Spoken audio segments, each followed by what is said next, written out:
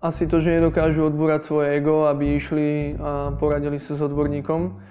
To znamená, že potom u nich e, nastávajú také začiatočnícke chyby, že si zvolia cviky, ktoré, na ktoré sú ešte nie pripravení, e, čo môže byť pre nich kontraproduktívne, môžu prísť k zraneniu a tak ďalej. A, a ďalej e, si uvedomiť aj to, že cvičiť treba v progresoch na všetko musíme byť nejakým spôsobom pripravení. To znamená, že od jednoduchšieho po ťažšie treba si to zostaviť do ustáleného celku, čo môže byť ten tréningový plán.